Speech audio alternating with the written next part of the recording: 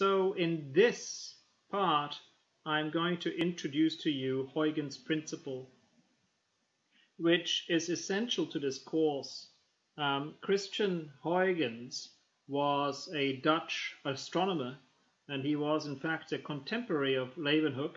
They almost certainly knew each other um, at the time. He was an astronomer, and he was interested in taking nice images of the stars at the time.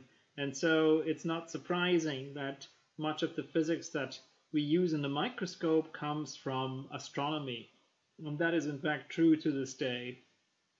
So um, he was concerned with the wave theory of optical imaging. He was one of the pioneers of the, the wave theory of light. And his principle is formulated as following, as, as follows. He said that to understand how light propagates, you can consider each point on the wavefront of a light wave to act as an emitter of secondary waves, secondary spherical waves, and to understand the amplitude at any point in space, all you need to do is you need to superpose, you need to add the amplitudes of the individual spherical waves arriving at that point. And that gives you the new wavefront. So for example, in this original work um, by Huygens, this is his handwriting, um, you, you see in, uh, uh, a picture that he drew of a flame. And so when you see the candle, when your eye forms an image, essentially the eye captures the light waves emanating from each point in this flame, and each point emits these spherical waves, and you have to add up the correct phase and amplitude um, emanating from each point to get the intensity or the amplitude at, at, at the point that you that that that that you're looking at or that that, that you're interested in. So um, you see these spherical waves that he drew here, and you can see they go into all space. And anywhere you look, anywhere you you you pick a point in space, um, you just have to add the individual amplitudes um, to get the intensity or the amplitude at that point. And we will look at that now um, um, by, I'm just going to draw this up to you and explain a few concepts. So if um, the first concept I would like to introduce is that of the point source, which we've just talked about. And so if I have a very small light source um, emitting light, then um, this will emit what are called spherical waves. So like throwing a pebble in a pond, you get these um, spherical rings traveling out in space. And so if I look at a particular direction, let's go in this forward direction here, then you see that the amplitude of the light um, changes from high to low to high to low to high to low to high. Um, and so the distance between these is, of course, the wavelength of light. So if I were to take a cross section along this arrow here of the light amplitude, it would look something like this. Um, it will go up and down, and this is, of course, the wavelength of light. Now, the characteristic of a spherical wave is it doesn't matter which direction you look at, the variation will always be um, like this. It will always, um, it in in all directions you will you will have a uh, an amplitude variation that looks like this. So the other concept that I would um, like to introduce now is that of a plane wave. Um, in this course, these are the only type um, um, types of waves that we need to consider. So a point source emits what is called a spherical wave.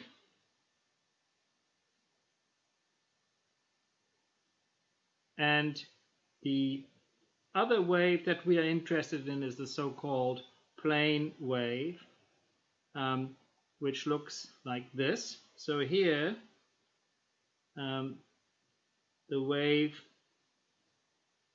propagates in this direction.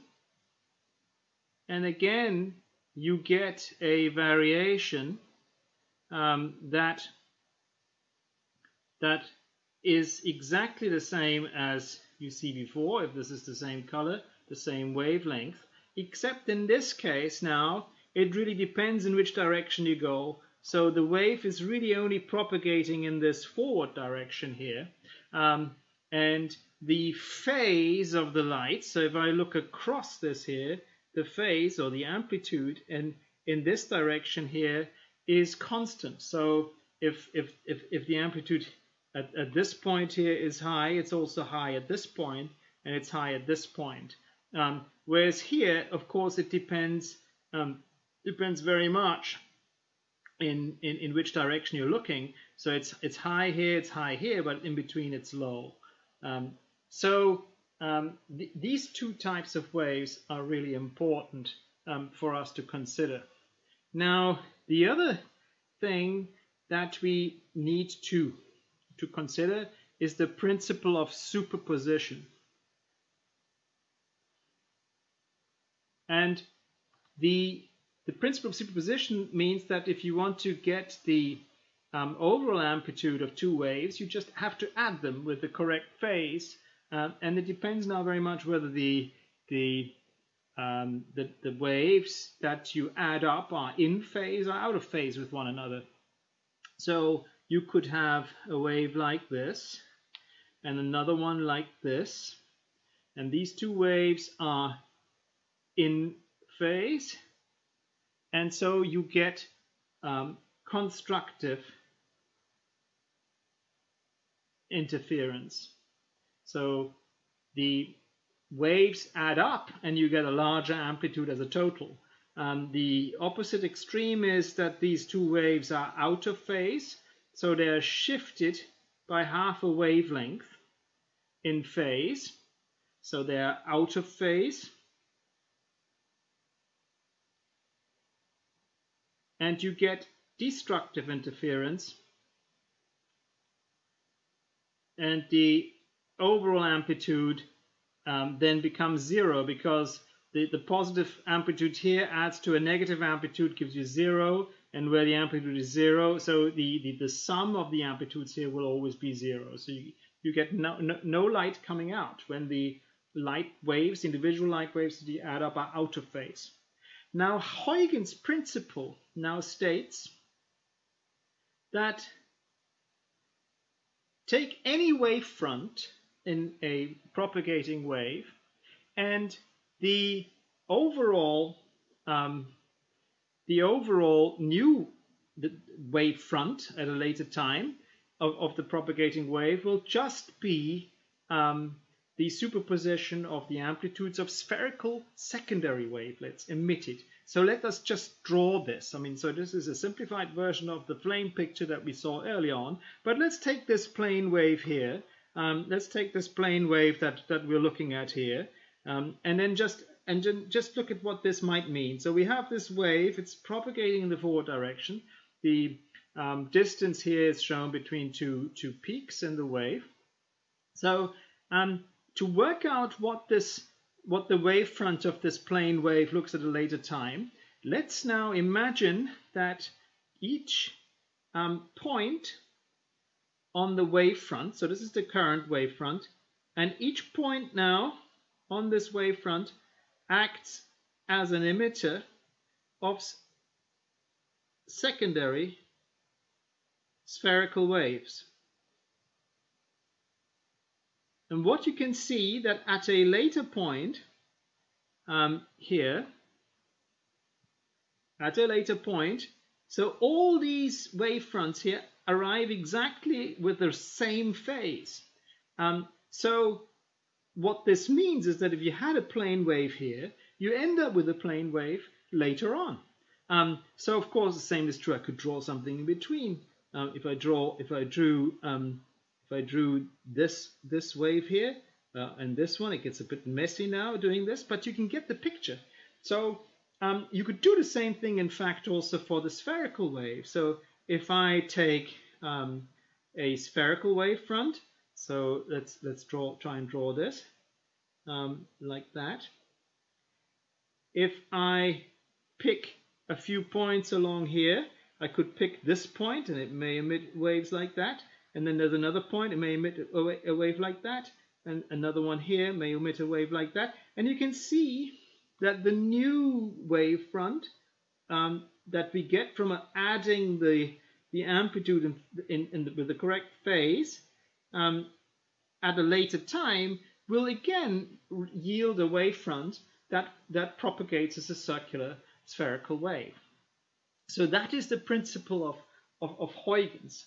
And now you can see um, how this leads to the, the problem of diffraction and how, um, um, how this affects the way we can image objects. So I will switch back to the PowerPoint presentation and go to the next slide. Um, so you see on this slide here um, um, a set of plane waves. So here you have a plane wave which is traveling from left to right. So it's going from here to there. And then here you have an aperture. You have a large aperture. Now, of course, according to um, Huygens, I can imagine now, so I can try and find out what, what is the amplitude at this point um, here. Let me just uh, draw this in. What might be the amplitude at this point here? So all I need to do is I, I take this point, let's say, and I draw spherical waves, and I, I look at the amplitude that arrives from this point, um, from this secondary emitter at this point. I do the same thing here. I draw the waves, I add up the phases correctly, and I do the same thing for all these points here. And I can see, if you do this correctly, you will see that they arrive exactly in phase at this point.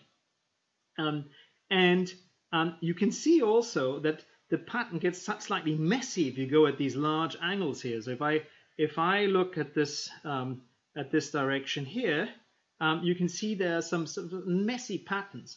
But if you look at the far field, so this is called here, this is called the near field, this is called the far field, um, and so a long way away from this aperture, you can see that the wavefront here in this far field mimics pretty much what the wavefront was inside the aperture itself. And that is because the aperture is very large. So we get a we get, sorry, um, we get a we get a plane wave. So we had a plane wave here. Then in the far field, according to Huygens, if the aperture is large, we end up with a plane wave. Now, consider. So if I if I play this this this this um, this this animation here, you can see the plane wave coming from left to right, um, and then adding. You know, we get these uh, um, these waves here adding up. And you can see how in the far field we get something that mimics a, a plane wave. Of course, and at these other angles, maybe the phases don't add up correctly anymore. And this does not then look at, at these extreme angles very much like what we had in the original in, in, in, the, in the original um, aperture over here. And that, the, the, the light arriving in these directions, that is because of this this, this wave nature of light and this, because of these spherical wavelets which travel into all directions and, and that is what is called optical diffraction. And that of course, um, so, so what I'm trying to say is that in these directions here, um, you, you, have a, a, field distribution which is, has nothing to do with what the field distribution was inside this aperture. But here, um, over the dimensions of the slit, it is, it is in fact um, it is in fact similar to what we had over there. So on the right hand side we have done something else. So here in this picture the aperture is very small and so now the far field pattern actually looks very different. It has no um, it has no um, resemblance to the plane wave character it had before the aperture now. Um, in fact, it turns into a, a, spherical wave. And why is that? Is if the, if the aperture is sufficiently small, of the, the order of a wavelength of light, then in fact all that gets through the aperture is a single spherical secondary wave. And of course, in the far field, then what you end up with is just a spherical wave.